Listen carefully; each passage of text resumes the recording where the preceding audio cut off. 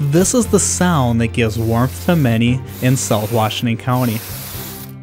I was going to have to have something to do when I retired.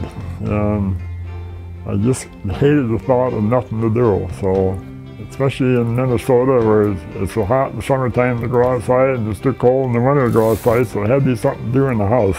Ron was a mechanic at Northwest Airlines for 43 years. So it wasn't the craft that got him interested in making hats and mittens, it was the machinery. They had a, discount store in West St. Paul for only $80.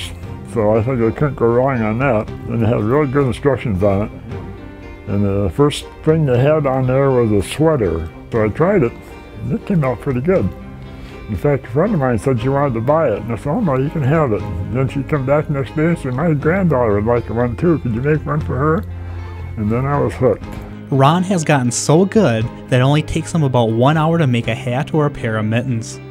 They just put them together like that, and you give them a pull, the pull comes right in there, and all I gotta do is sew them up. And then this is the project for watching TV with all the long commercials on it. During the commercials, the longer the commercials, the less time it takes to sew it up. For all the thousands of hats and mittens he has given away throughout the years, he is used to seeing them in public. So sometimes I see people in the store with my caps on or with kids, and uh, sometimes they look so good I can't believe they're mine, so if it wasn't for the stripe, I wouldn't know the difference. Besides donating his hats and mittens to the food shelf, he also volunteers twice a week. They are the nicest people working there, all volunteers. The director is just a super person. Ron has been an amazing volunteer at the food shelf for the last 14 years.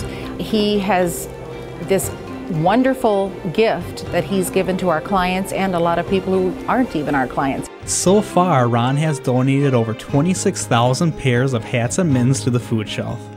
They're an absolute hit. Everybody loves them. And when you think of that many kids staying warm because of his mittens, he has adult ones too, but the kids especially love all the bright colors and stripes and, and everything. So we're so grateful to him. I knit all summer long and store them here at home, and then start taking them down there the first of September. Even though it might be 80 some degrees outside, it's going. They know darn well it's going to get cold. Every day, Ron will continue making the sound so everyone can have a chance to stay warm. I'd love to be able to make them for everybody, but uh, can't make them that fast.